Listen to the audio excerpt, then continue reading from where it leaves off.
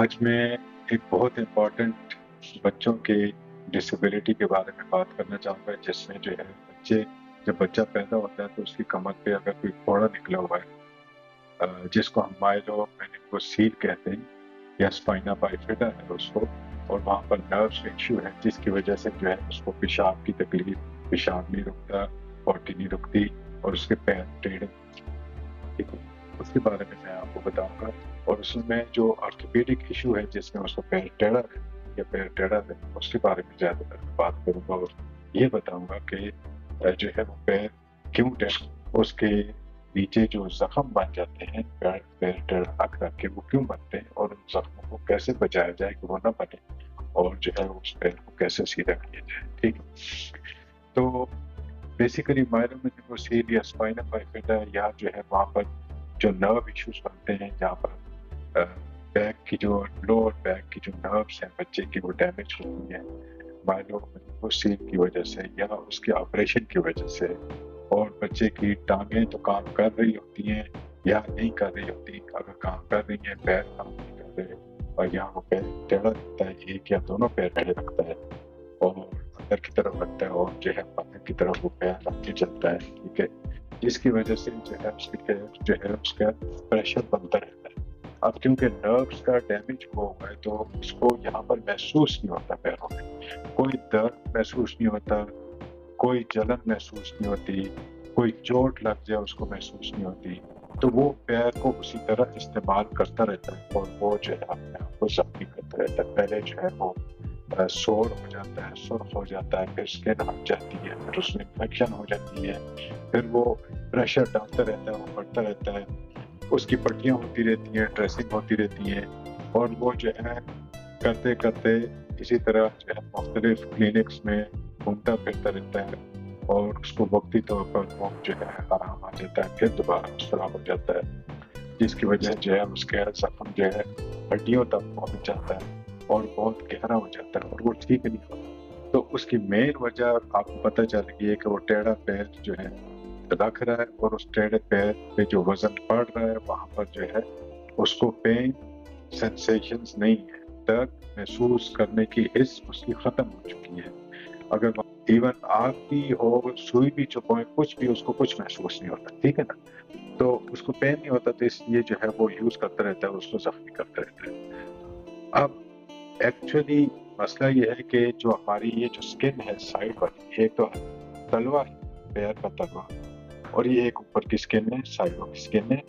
तलवे की स्किन जो है, काफ़ी मोटी होती है थिक होती है, ताकि वो जो है हम चलते रहें और वो जख्मी ना हो और वो अब प्रेशर को बर्दाश्त कर सके। जब पैर हम टेढ़ा रखते हैं तो ये स्किन जो है, वो उतनी मोटी नहीं है ये सारी हड्डियाँ हैं पैर की, ठीक है?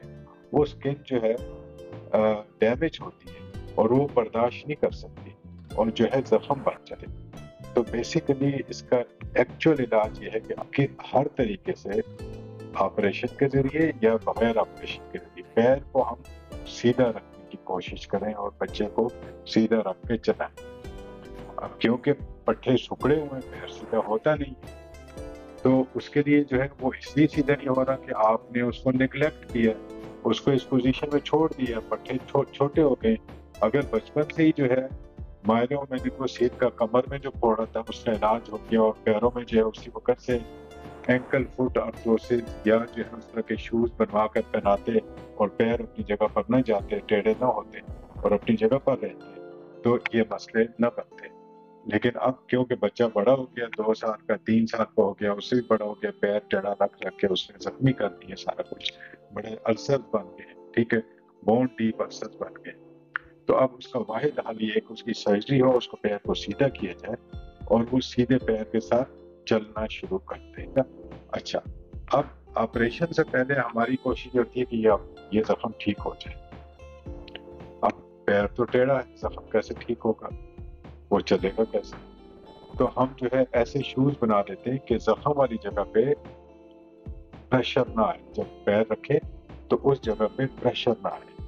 जब प्रेशर नहीं आएगा तो वो स्किन आस्ता आस्ता हील होनी शुरू हो जाएगी। जब स्किन हील हो जाती है फिर आप ऑपरेशन करते हैं और पैर को सीधा कर देते हैं और वो पैर सीधा रख के चलता है और उसका जख्म दोबारा नहीं बनता और वो सीधे पैरों के साथ चल सकता तो ये इम्पोर्टेंट इंफॉर्मेशन थी कि पोस्ट माइलोमेनिकोसील या माइलोमेनिकोसील के ऑपरेशन के बाद या ऑपरेशन से पहले जो बच्चे टेढ़े पैरों के साथ, टेढ़े क्लब फुट यानी क्लब फुट के साथ टेलीपीज एक्वाइनो वायरस के साथ चल रहे और उनकी सेंसेशन नहीं है।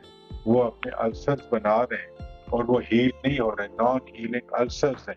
यहाँ पर और बहुत गहरे अल्सर्स हैं। तो उसका वाहिद हल ये कि उनसे प्रेशर हटाया जाए। वक्ती तौर पर या परमानेंट पैर सीधा करके प्रेशर हटाया जाए, तब जो है वो ठीक होगा। अब कुछ मरीज़ मैंने देखे जो कि प्रेशर हटाने के बाद वो हील अप हो जाते हैं।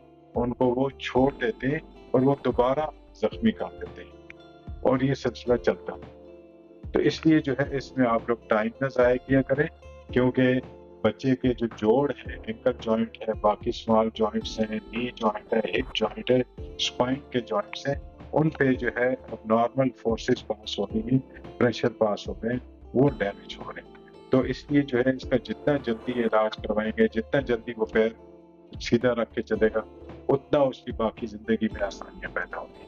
बहुत बहुत शुक्रिया थैंक यू वेरी